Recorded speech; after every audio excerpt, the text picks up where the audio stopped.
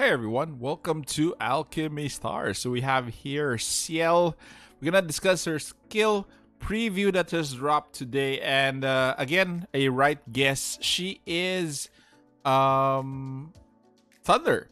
Thunder element class is going to be Converter. Her attack is a little bit low, which is a bit concerning. Also, her defense is low, and um, HP is average. So let's check her out. Uh, by the way, she is of five star rarity. Um, that is, I think, why she is uh, lower in terms of um, terms of stat.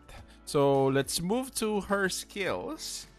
So active skill Solar Arrow Radiance.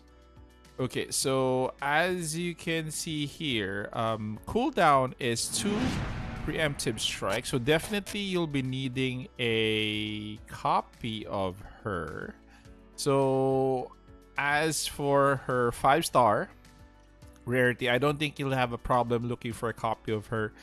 Um, probably she needs to be she needs to be uh m uh, max breakthrough. Like most uh, converters who are five star they need to be max breakthrough. So we'll see. We'll see when she drops. So uh, going back to solar arrow radiance converts the five nearest green tiles to yellow and leaves only only green green tiles to yellow and leaves behind a solar arrow mine if the active skill was ready in the last round increase the tile converting count by one in this round. So chain combo, a little bit low. So at 130 up until 13 chains, so 4, 8, and 13. And the damage is random. It increases as you go more chains from 2, 3, and 4 times the damage. Uh, and also, uh, it's 3 surrounding clusters of this unit. When the target takes damage more than once, the damage from the second time second time fourth is halved. So first damage is 100% three two three uh, two three and the other you know um other times it's only going to be 50% so not really impressed with her um, chain combo. Let's move on to her equipment skill. Solar Arrow Domain. Whenever a chain combo hits the target, it leaves a solar arrow mine or a random tile within one surrounding cluster that disappears after triggering and expanding and, and, and exploding while an enemy passes it or when the round ends. So automatically the mines explode even if nobody passes over it, dealing defense ignoring damage equal to 30% of Ciel's attack to 5 tiles in a cross shape. Okay, so that's five. That's a small cross.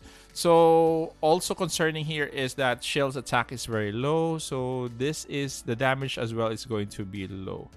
So I'm not sure if um, she's worth it, guys, but definitely she's very good to get. She's a five star. You, it, it would be easy for you to get copies of her. Um, unlike uh, Carlene, Carlene is going to be your six star. So probably both of them are going to be in the same banner. So we'll, we'll be pulling on one banner tomorrow for Carlene and for uh, Ciel. So, what are my thoughts on Ciel? If you don't have a converter, if you're new to the game, she could help you in in some ways, but again, it's limited to green. Green only green tiles to yellow. So limited limited she is so limited limited uh, conversion limited damage and also limited attack stat um i don't think she's going to make a you know a make a make or I don't think she's going to have a slot in your roster unless if you are a beginner. So those are my thoughts. So she will just be probably your freebie once you summon for Carlene tomorrow or no this week.